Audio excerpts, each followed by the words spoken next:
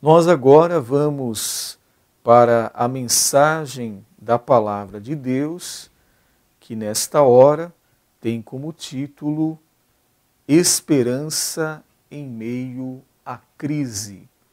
O nosso texto base está no primeiro livro de Samuel, capítulo 30.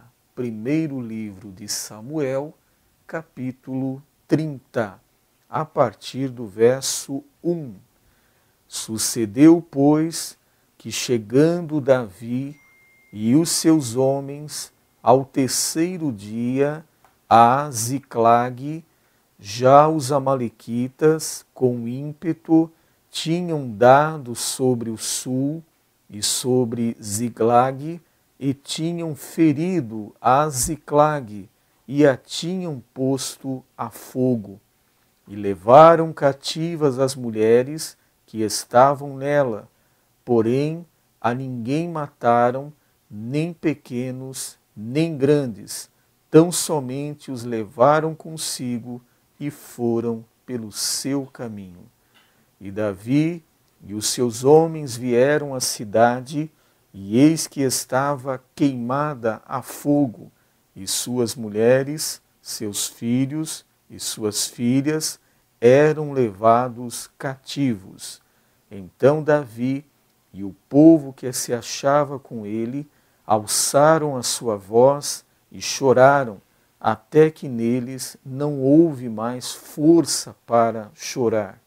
Também as duas mulheres de Davi foram levadas cativas, Ainoã, a Jezreelita, e Abigail, a mulher de Nabal, o Carmelita. E Davi muito se angustiou, porque o povo falava de apedrejá-lo, porque o ânimo de todo o povo estava em amargura, cada um por causa dos seus filhos e das suas filhas.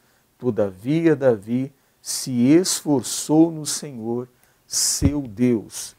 E disse Davi a Abiatar, o sacerdote, filho de Aimeleque: Traze-me, peço-te, aqui o éfode, e Abiatar trouxe o éfode a Davi. Então consultou Davi ao Senhor, dizendo: Perseguirei eu a esta tropa, alcançá-la-ei. E o Senhor lhe disse: Persegue-a, porque de certo a alcançarás e tudo libertarás. Agora, neste mesmo capítulo 30, no verso 18. Assim livrou Davi tudo quanto tomaram os Amalequitas, também as suas duas mulheres livrou Davi. E ninguém lhes falou, desde o menor, e ninguém lhes faltou, desde o menor até o maior, e até os filhos e as filhas, e também desde o despojo até todo quanto lhes tinham tomado. Tudo Davi tornou a trazer. Nós temos feito então aqui uma leitura no primeiro livro de Samuel, no capítulo 30, do verso 1 ao verso 8, e depois lemos também o verso 18 e 19 desse mesmo capítulo. Aqui está o personagem principal, que é Davi, esse homem de Deus que encontramos na Bíblia Sagrada, informações importantes sobre a sua pessoa, aprendemos então com os erros, aprendemos então com os acertos deste homem de Deus. Davi estava fugindo de Saul, Saul movido por uma inveja mortal, perseguia Davi constantemente para lhe tirar a vida. E Davi então ele vai se refugiar nessa cidade Ziglag, que pertencia ao território de Israel, mas estava sob o domínio dos filisteus.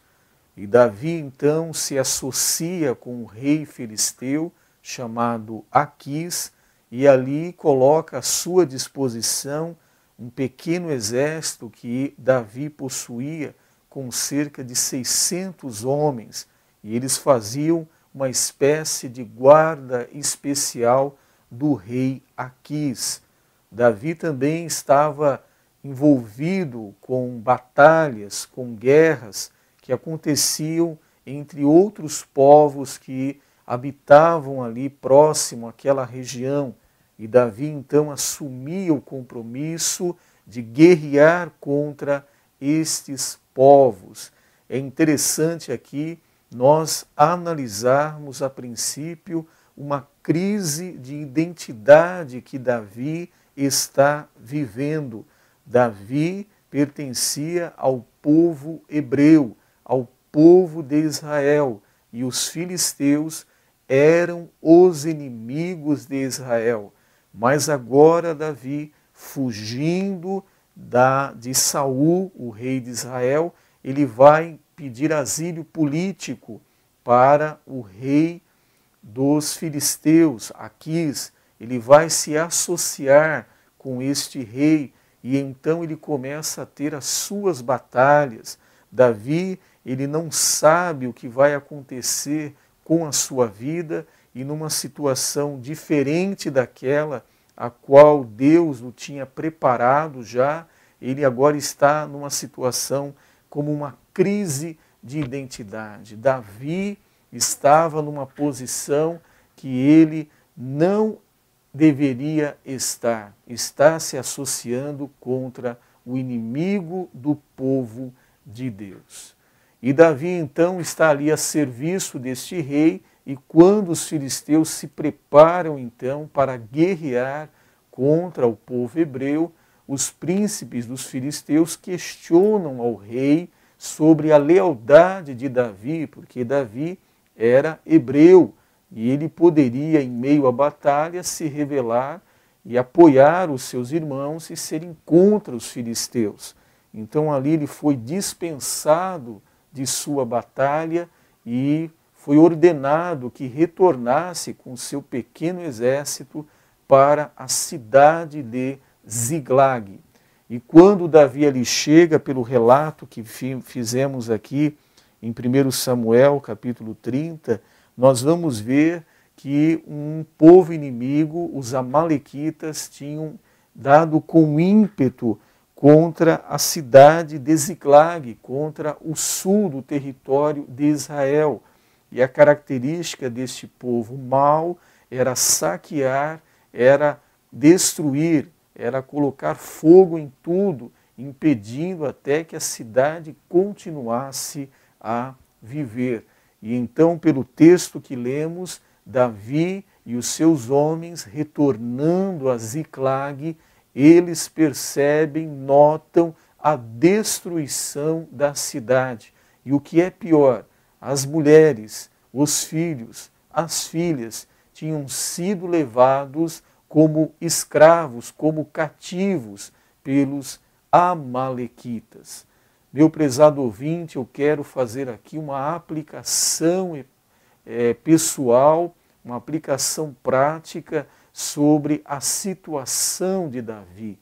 Davi foi pelejar as suas guerras, lutar as suas batalhas, mas ele não protegeu o seu maior patrimônio que era a sua família.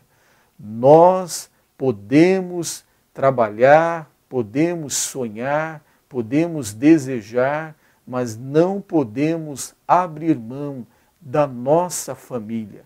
O nosso bem maior não pode ser deixado para trás. Devemos cuidar da nossa família, proteger a nossa família, assistir a nossa família. E nessa situação, Davi, então, com aqueles homens, diz o texto que lemos aqui, começam a chorar, começam a, a se angustiar, eles alçam as vozes e choram copiosamente pelo que eles estavam sentindo naquele momento, porque as suas esposas e os seus filhos haviam sido levados. Aqui vale um ditado popular. Nós aprendemos a dar valor para as coisas depois que nós já a perdemos. E aqui está um exemplo: os homens choraram, os homens se angustiaram por causa de suas famílias que haviam sido levadas. E aí está então a, a importância que tem a família. Não podemos abrir mão da nossa família. Prezado ouvinte, hoje pare e reflita um pouco se já roubaram, se já levaram a alegria do seu casamento, já levaram o diálogo entre os membros da sua família, já levaram, já roubaram a harmonia do seu lar, o entendimento do seu lar, o amor da sua família.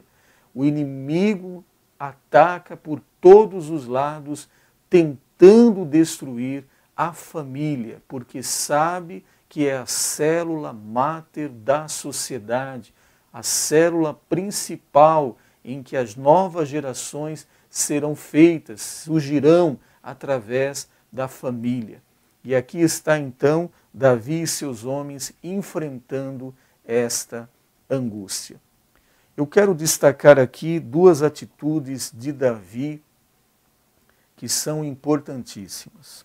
A primeira, no verso 6, quando, diante daqueles homens que eram seus liderados, daqueles homens que serviam a Davi, eram fiéis a Davi, agora em meio à angústia, em meio ao sofrimento, eles agora estavam dispostos a apedrejar a Davi, estavam dispostos a tirar a vida de Davi.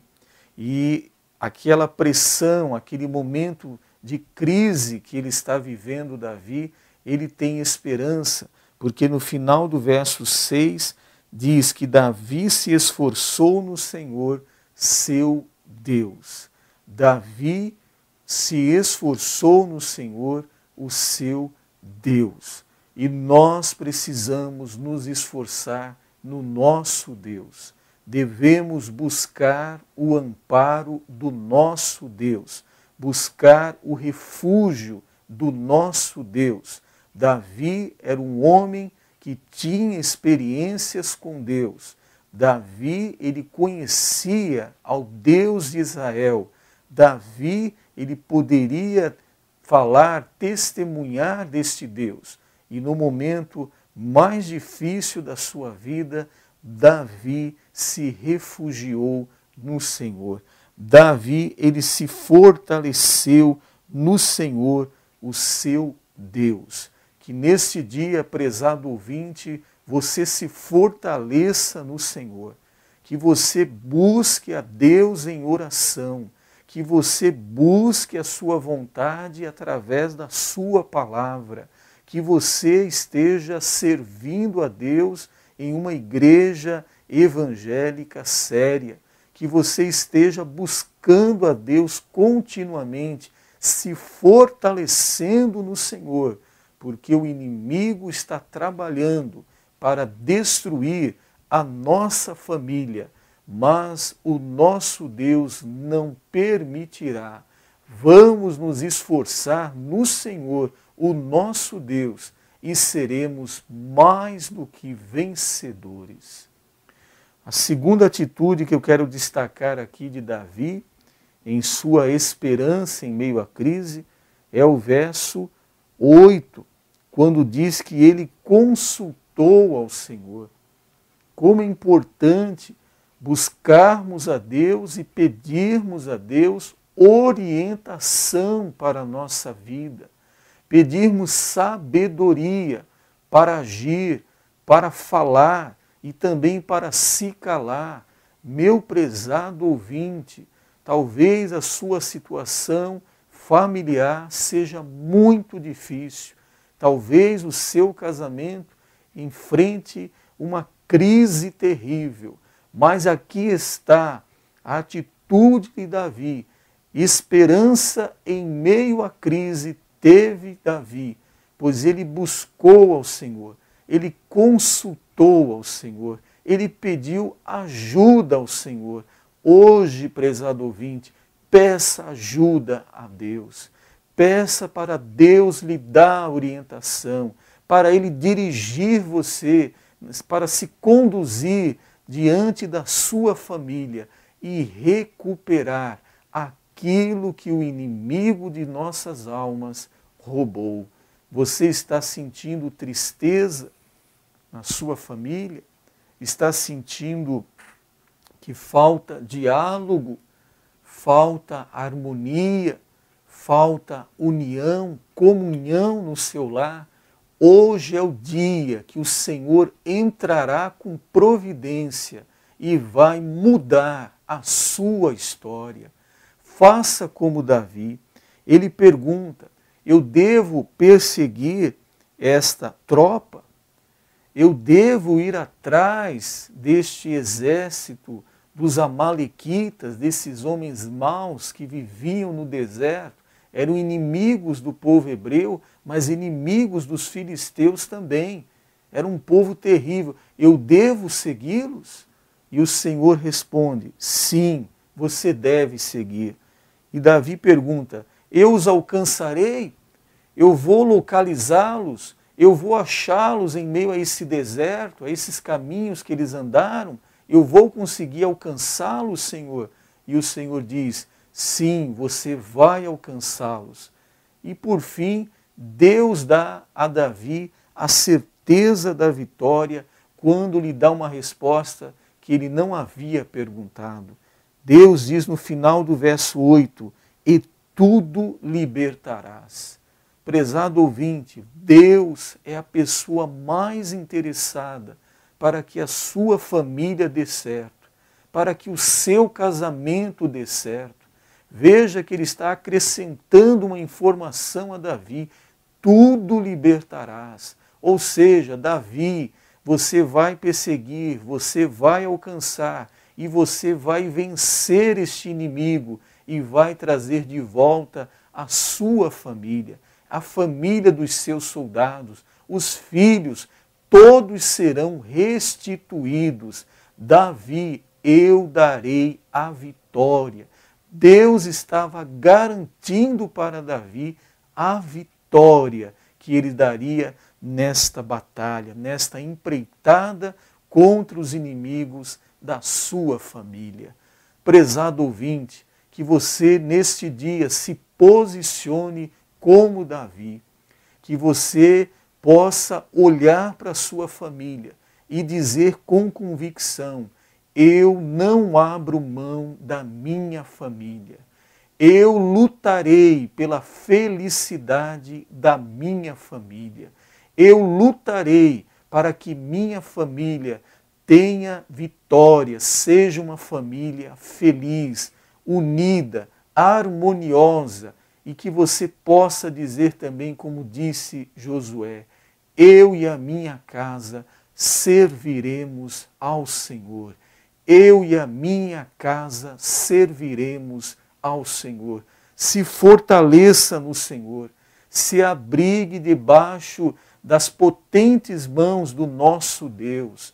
Ore, leia a Bíblia e procure congregar, procure comungar a sua fé com os seus irmãos em Cristo, estar na igreja, receber a orientação da palavra, louvar a Deus, contar testemunhos, se fortalecer no Senhor e que você também peça ajuda a Deus, consulte a Deus, peça para Deus dirigir você, para na hora de falar, para na hora de se calar também, como proceder diante da minha família, para você recuperar o esposo, recuperar a esposa, recuperar os seus filhos, recuperar a alegria da sua família, a bênção que Deus deu quando instituiu o casamento. Prezado ouvinte, vamos orar e receba a palavra de Deus e nesse dia tenha a atitude certa, tenha esperança em meio a esta crise, como teve Davi e foi vitorioso. Senhor nosso Deus, nosso Pai, temos falado a tua palavra, temos aqui meditado sobre Davi, este homem que teve acertos, que teve erros, mas aqui nós muito aprendemos com o seu exemplo aqui registrado.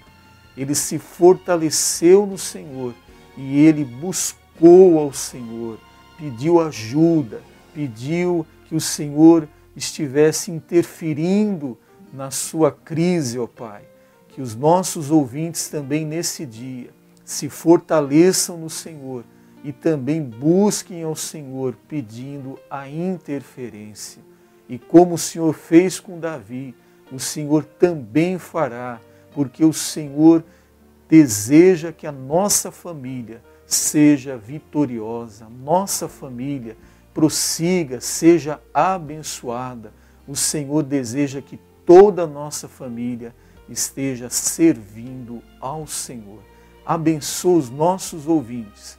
Oramos agradecidos no nome do Senhor Jesus.